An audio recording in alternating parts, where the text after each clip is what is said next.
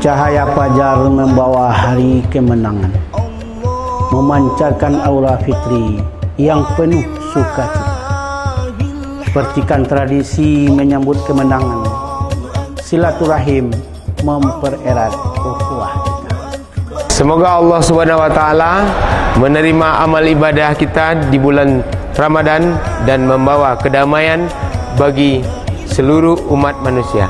Saling memaafkan dan melupakan kesalahan demi memulai lembaran baru yang lebih bersih. Mari kita jadikan momen Idul Fitri ini sebagai ajang untuk memperkuat tali persaudaraan.